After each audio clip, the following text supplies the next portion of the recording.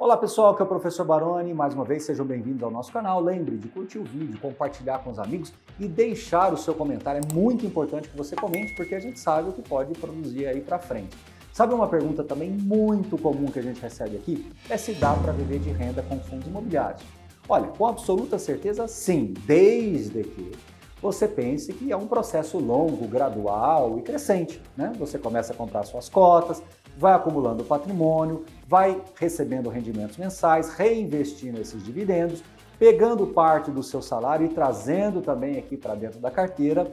E essa bola de neve vai crescendo e você vai criando aí cada vez mais fluxo de caixa que vai permitir com que você pague as despesas da sua casa. Comece devagar, entenda que aquele primeiro investimento talvez mal dê para você comprar uma pizza, mas depois você começa a comprar pizza, o sanduíche, a churrascaria com seus amigos, ir ao cinema e começa aos poucos perceber que pode inclusive ir para outras contas da sua casa. A conta do aluguel, a conta da energia, da água, do condomínio, enfim. Quando você menos perceber, você vai ter todas as suas despesas sendo pagas pelos fundos imobiliários. Mas preste muita atenção no que eu vou dizer. Isso não quer dizer que você já deve, logo no primeiro processo de acumulação, já começar a consumir essa renda.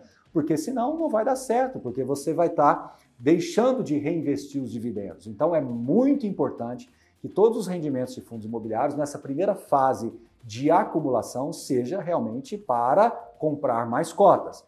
Essa fase pode durar 10, 15, talvez até 20 anos. Eu sei que dói um pouquinho falar que vai demorar 10, 15 anos para você formar um patrimônio relevante, mas tenha paciência, um dia de cada vez que você vai conseguir. Nesta segunda fase, aí sim é da fruição, é a capacidade que você tem de usar os seus rendimentos.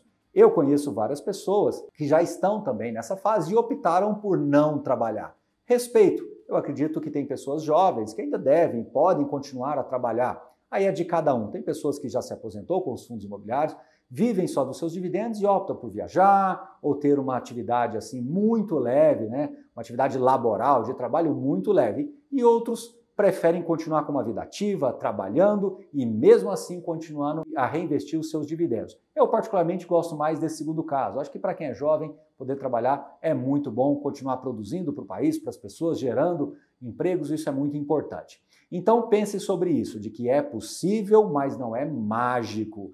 Não fantasie na sua cabeça que da noite para o dia você vai magicamente pagar as despesas da sua casa.